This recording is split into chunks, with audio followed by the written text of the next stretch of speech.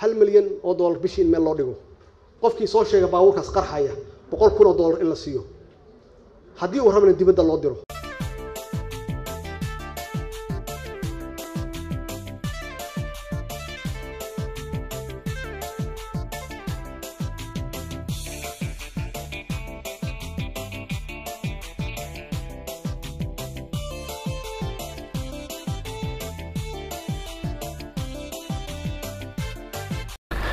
asalaamu calaykum waraxmat ullaahi wabarakaatuhu kulanti wacan oo wanaagsan daawadayaal. Meel kastoo naga daawanaysaan ku soo dhowaada barnaamijka xoogaal oo saacadahan oo kale aad ka daawataan calson t v stuudiyihiisa magaalada london.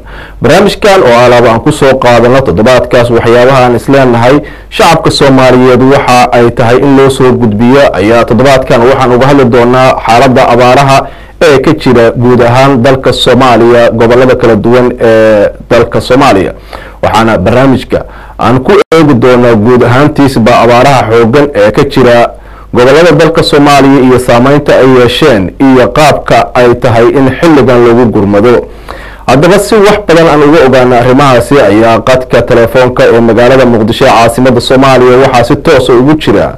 Sheekh nuur baaruud gurxan oo ka mid ah culamo udiinka soomaaliyeed islamarkaana ah qeyb ka ah guddiga hadda wada gurmadka loogu jiro abaaraha ee dowladda federaalk soomaaliya iyo shacabka soomaaliya sida wadajirka ay uga wadaan guud ahaan gobollada kala duwan ee dalka soomaaliya gaar ahaan magaalada muqdisho ee caasimada soomaaliya. Sheekh nuur baaruud gurxan marka hore ku soo dhawow barnaamijka calson t v ee xog ogaal marka xigta bal waxaad warbixin naga siisaa kulankii maanta aada la qaadateen ra'iisul wasaaraha iyo weli waxyaabihii kaga soo qabsoomay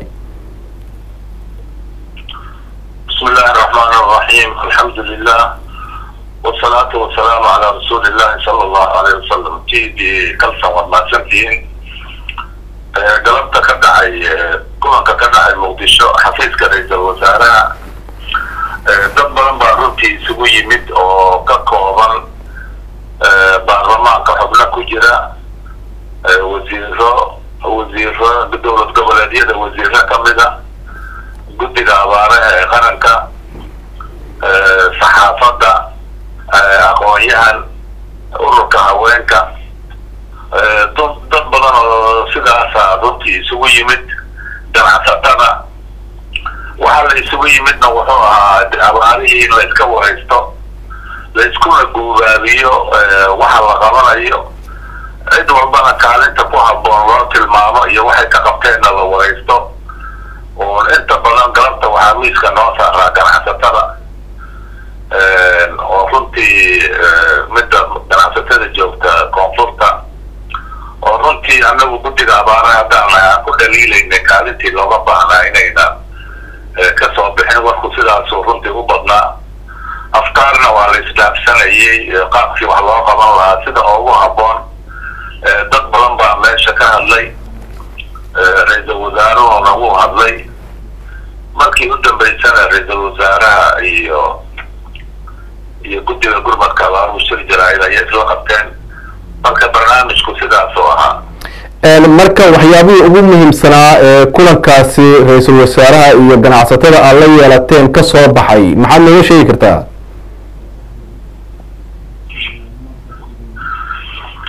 Kulanka waxaa ka soo baxay talooyin badan waa la soo jeediyey oo shacab baarlamaankii iyo aqoon-yahankii meesha isugu yimid iyo dumarkii ururka haweenka qaranka ka socday talooyinka ay soo jeediyeen talooyinkaas waa la isweydaarsaday wixii xalaan iyo nin walba waajibkiisa in la xasuusiyo ahaana waa meesha way ka dhacday kolkii uun u dambeysayna oo ganacsataduna waxay ballan qaadeen inay ka qayb qaadanayaan abaaraha gurmadka inay ka qayb qaadanayaan berri bayna iyagii ra'iisul wasaaruhu mar labaad kulmayaan ooy kulan qadaa ku wada hadli doonaan maantana runtii aad ba arrimahaas dhinac walba la isaga tusaaleeyey marka uun ujeedada waxay u ahayd in la iswaraysto lana gurmada ayay ahayd kulan aada u fiican oo runtii rajada oo midhada ayuu ahaa oo midho badan laga rajaynay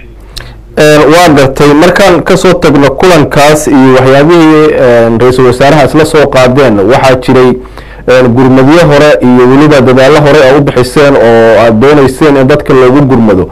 Marka bal faahfaahin waxaa inaga siisaa gurmadyadii hore aad bixiseen iyo qaabka ilaa iyo hadda wax idinkugu suurto galeen hadda in muddo a wuu socday sidaad meeshan ogtihiin weli adduunyadii ballanqaad mooyaane wax rasmi oo na soo gaaray ma jira guddiga qaranka ee gurmadka abaaraha adduunyaduna inta badanba waxeeda waxay isaga badan yahay ballanqaad. Marka anagu dadka waxaan ulu sheegayna war inagu dad waxa dhiman waa dadkeennii. Adduunyadeennii iyo dadkeennii baa baaba'aya. Marka adduunya wax laga sugay haddayba xataa wax keenaan goor laga dhintay bay keenaan marka inagu soomaali ahaan aan isugu tashanno gudi iyo dibadba wacyigelintaas qayb muhima ayay ahayd oo waan wadnay. Waxyaalana soo gaargaaday oo masalan gudaha iyo dibaddaba naga soo gaarayna way jireen. Anoo aada ugu mahadnaqay runtii dadka soomaalida ee dibadaha jira diasbarada ah. Oo mar walba ama tvyadan ka fadhiisanaa oo kala hadalnaa mar walba waxbay soo diraan dadka gudaha jooga shacabka iyaguna waxbay bixiyaan marka lacag runtii ilaa hadda laga yaabo sagaal boqol oo kun iyo inay ku dhowdahay yaan aruurinay. Lacagtaas ilaa hadda shan state ayaan u diray lacagtaas qaybo ka mid ah. Waxaan ka bilownay puntland iyo galmudug. Iyo mathalan koonfur galbeed iyo jubbaland hirshabeellana berri bay gaaraysaa.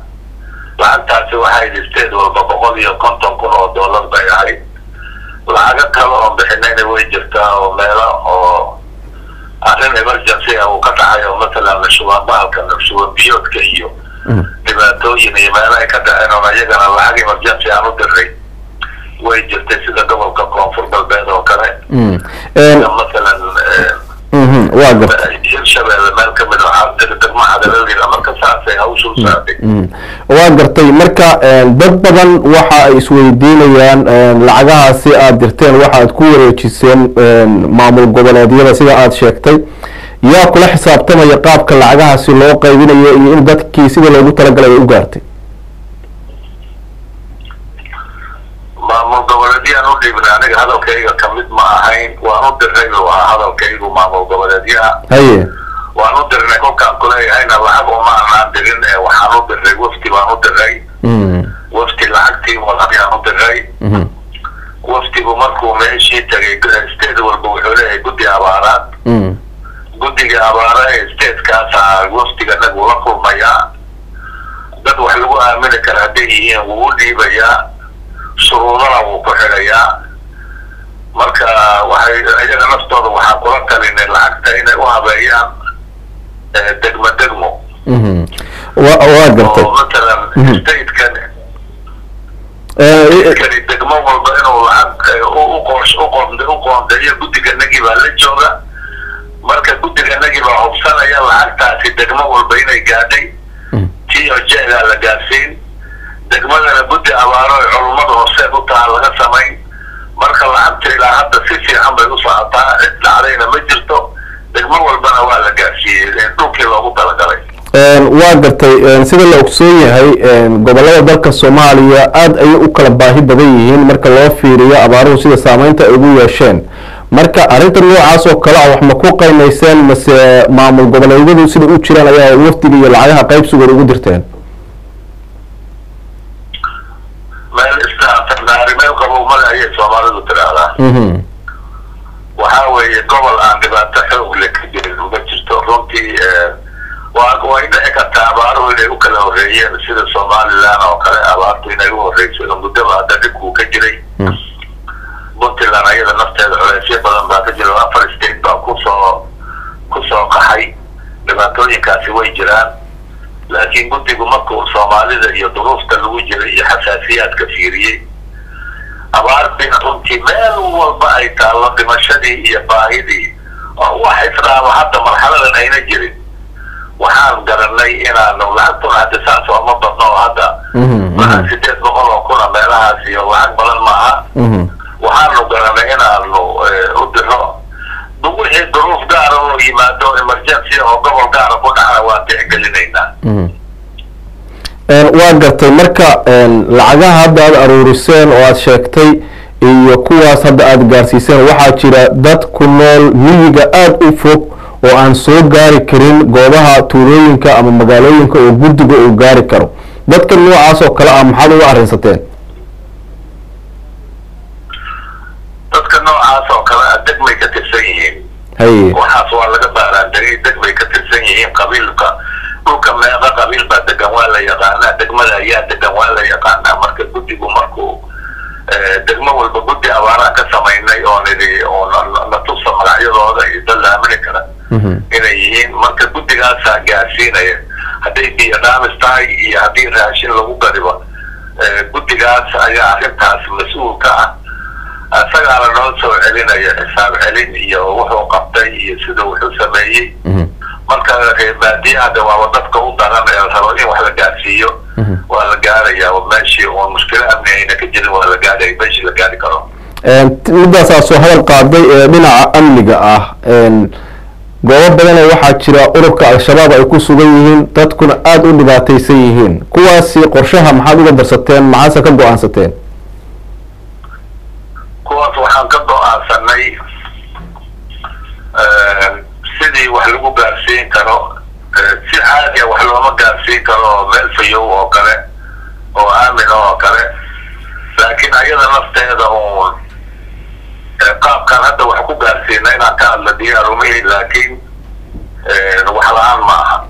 Waa gartay laakiin shacabka soomaaliyeed ee gurmanaya ee doonaya in guddiga dhaqaalaha ay u dhiibaan wax walbaaba waxaa habboon qaabka ay tahay inay u fahmaan si shacabku ay u aaminaan guddiga iyo guddiyada abaaraha ee ka jira gobollada kale taas oo dadka keeni karta in la is-aamino islamarkaana qof walbaaba deegaanka uu ka soo jeeda isagoo aan eegin oo isdhihin deegaankaas wax ma gaarayaan.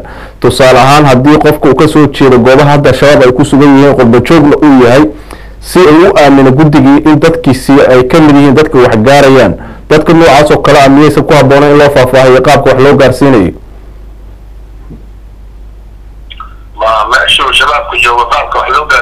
haa sababto ah waxaa dhici karta dad waxaa jira dad qurba joog ah oo ka soo jeeda deegaanadaas oo doonaya dadkooda inay wax gaaraan islamarkaana guddiga hadda jira ee qaranka in wixii dhaqaalo ah ay doonayaan inay bixiyaan ay ku aaminaan oo ay u fahmaan dadkooda inay sidaas ku gaarayso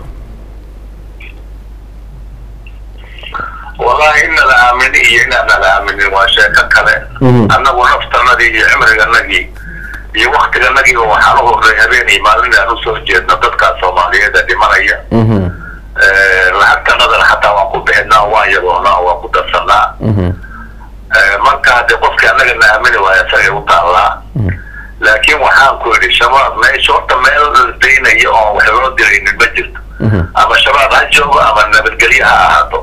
Laakiin waxa aan ka hadlay waxaa weeye qaabka aan wax u gaarsiino yani inaan sharxa iyaana diyaar u ahayn inaad igu soo celisidna ilama qurux badna okay waa gartay. Dhinaca somalilan oo kale abaaraha waa meelaha ay ugu badan yihiin oo saameynta xoogan ay ku yeesheen. Marka dhinacaas oo kalena bal warbixin inaga sii qaabkee ayaa doonaysaa in ay ugu gurmataan. Ilaa iyo iminkasta ma u gurmateen maya guddiga gurmadka ee qaranka ilaa hadda oo ma anaan gurmanin waxna xag ma anaan gaarsiinin. Abaaruhu inay ka horeeyeen oo abaaro badan ka jiraan oo dhibaato badan ka jirtana aad baan oola socnaa guddiga qaranka xogta wuu aruuriyaa. Degmo walba iyo gobol kasta dhibaatada iyo waxa dhimanaya iyo xoolaha dhammaanaya iyo dadka dhammaanaya. Waan la soconaa runtii waxaan rabnay malme maamul goboleedyada sogsoge markaan ka gudubno dadka walaalahan somalilan ayaga si gaara inaan u fiirino oon ugu gurmano marka haddaan ayaga u diyaar garoobaynaa inaan wax gaarsiino marka sida loo wax loo gaarsiinaa de waa si caadi oo waan u tagaynaa oo waxaan waxaan u qoondaynaan u geynaynaa wax dhibaataana kama jirta taas lihna waa gartay waa si fiican. Laakiin u geynay aad yaad lacag hal malyana waa nagii berigii hore u geynay haddana annagoo siyaasad shuqul ku shacaba ayaa u tegi doona mustaqbalka haddii ilaah yidhaahdo marka wax dhibaataana kama jiro waan u gurmanaynaa insha allah waa gartay laakiin xilliga gurmadku qofka markay abaartu hayso ayay tahay in loo gurmado guddiyada hadda dhaqaalaha aruuriyo kale iyo goobo badan oo dadka soomaaliyeed waxaa socota qaylada. Laakiin waxaad u malaysaa in dadku marka ay waxgaarayaan ay yihiin xilli qofkii aysanba nafba ku jirin oo qofkii dhibaatadii gaari laheed ay gaartay. Arrintaas oo kale sidee looga hortegi karaa? Ma dhici kartaa in lacago oo kale guddiyada maadaama aad sheegtay in dhaqaalihii ku filnaa aysan xilligan helin in shirkadaha oo kale ay ka daynsadaan ama lacago ka sii qaataan ama shakhsiyaadka la og yahay ee soomaalida ah ee dhaqaalaha haysta si dadka xilliga ay wax u baahan yihiin loo gaarsiiyo kadibna guddigu lacagaha ay soo aruurinayaan lacagtaasi lagu bixiyo waxaa weeye somaliland maamulka ka jira runtii aad buu u dadaalaa lacagaha abaaraha dawlad ahaan iyo maamul ahaan bay wax u bixiyaan ganacsatada iyo shirkadaha waaweynna lacag bay bixiyaan. Dawladda sacuudiguna waxoogaa raashina inay geysaan la socotaa. Soddon kun oo qoys. Inay wax siisay. Waxyaala saas oo gaargaaray way jiraan waana ka warhaynaa.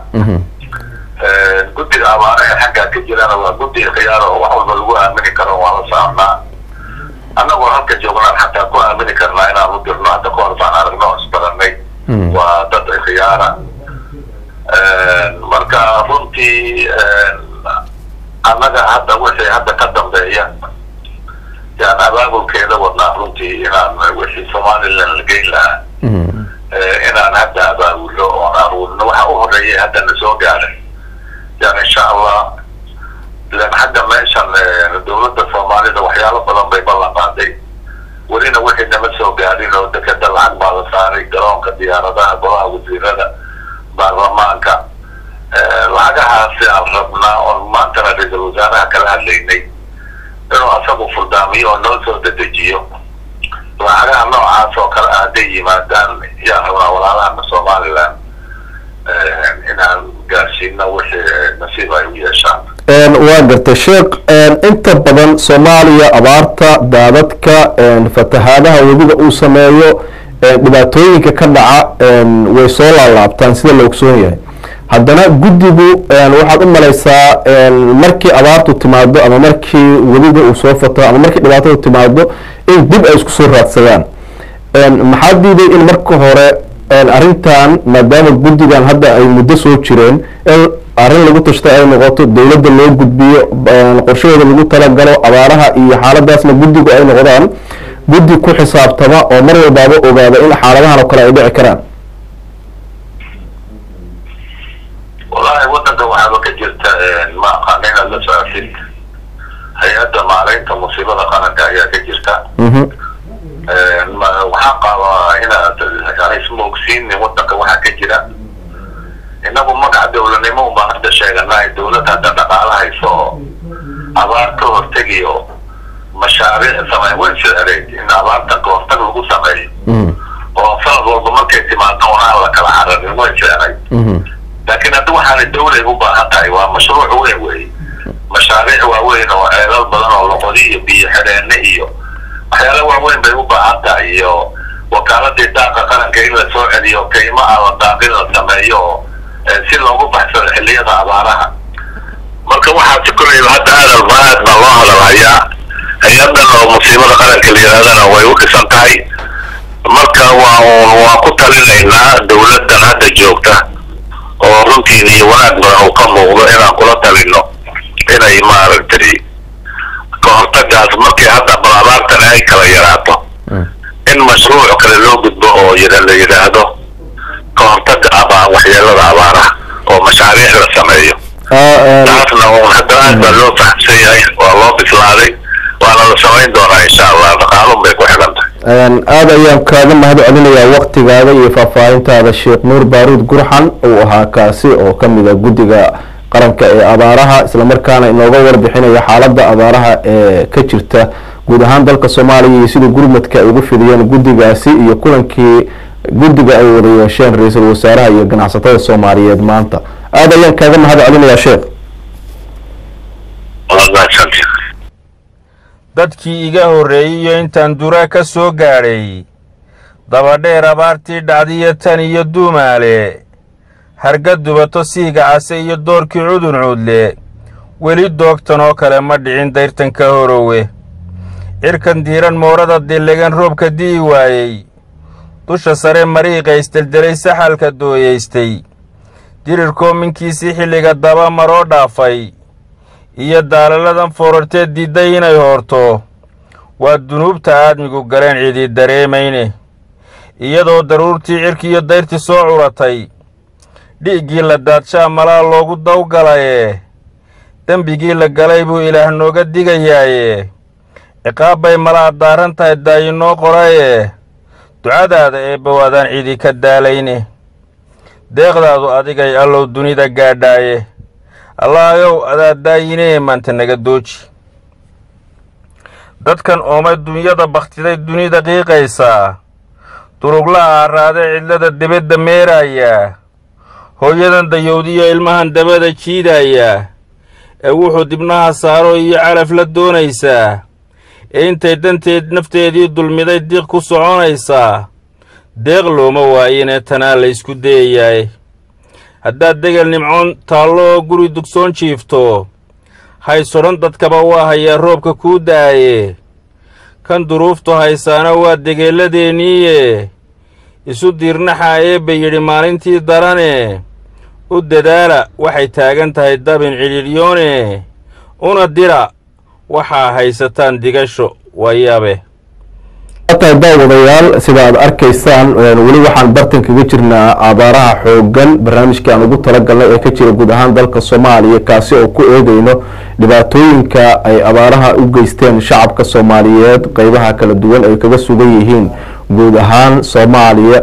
Waxaana dhibaatooyinkan muuqanaya oo aad ujeedaan ay yihiin kuwo saameyn xoogan ku yeeshay dadka soomaaliyeed ee u badan reer guuraaga kuwaasi oo dhimasho iyo weliba dacdaro kaleba ay kasoo gaartay xaaladaha abaaraha ee ka jira guud ahaan wadanka soomaaliya haddaba si wax badan arrimahan aan ugu ogaano iyo kaalinta culammada soomaaliyeed sheekh cabdulaahi sheekh maxamed sagal oo kamid a culammada soomaaliyeed ayaa waxaan wax ka weydiiyey bal doorka culammada soomaaliyeed ay tahay xilligan inay ka geystaan guud ahaan abaaraha xoogan ee ka jira dalka soomaaliya الرحمن الرحيم الحمد لله رب العالمين والصلاة والسلام على نبينا محمد وعلى آله وصحبه وسلم runtii culimada kaalintoodu ku aadan abaarahan maanta taagan waxaa weeyaan inay culimadii hormuud aha ummadda iyaga ay dhegeysanaysaa iyagoo ilaahay subxaana watacaala ku galabaystay aragti dheer iyo diinta islaamka xambaarsan yihiin. Dadkana maanta waxaa ku ta waxaa haysataa abaar baahsan oo meel walba ah oo dhan ay u ciirayaan ayna jirin. Xoolihii moodka iyo tii moolka ahaaba way dhaafeen waxaa isugu darmaday abaaro iyo cudurro oo shulbiyood uu ka mid yahay. Waxaa laga doonayaa kaalinta culimmadu inay muuqato oo istaagaan. Iyaga ayaan xuduud gaara lahayn. Iyaga ayaana awood u leh iyo karti ay dadka uga dhaadhiciyaan inay abaarahan ka saari karaan. Ha ku daydeen saxaabada nabiga calayhi salaatu wasalaam oo abaartii kuleeda dhacday qaar ka midii ay maalkoodana hureen dadka u dhexgaleen sida cabdiraxmaan cof oo kale sidaa awgeed arrintan maanta haysata waa nooc ciqaab ah oo cuquubada ummadda soomaaliyeed soo haysatay ee dheeray. Midba mid kale ka sii daran tahay laakiin u malayn mahayo taariikhda intay inoo muuqata dhibaatada hadda haysata tu lamida inay soo qabsatay oonu garan hayno. Waayo ummaddii abaar colaad iyo gaaja la isugu daray iyo adduunkii oo aan danba ka lahayn kale. Marka ilaahay subxaana wa tacaala marka hore hala hala hoos galo oo ruux walbaba ilaahay ha u tobad keeno guud ahaanna ilaahay loogu tobad keeno culimaduna kaalintooda waa inay dadkana u birmadaan oo inta wax haysata ay ku gudaabiyaan inay dadkaas wixooda gaarsiiyaan.